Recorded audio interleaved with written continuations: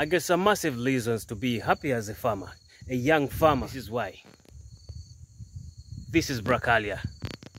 On top of me, lots of fruits, passion fruits. Well, inside here, there's a lot of what? Paper, habanero. As you can see, I'll be harvesting fruits.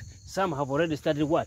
Ripening. So, it's no wonder that I'll be making money out of this small, small plot while harvesting my brachiaria down here and feeding to my cows, as well as harvesting my pepper, Pilipili Mwendo Kasi, which I'll be selling at the good market price. Well, it's all good for us to find tufanye kilimo kama inavyotakiwa.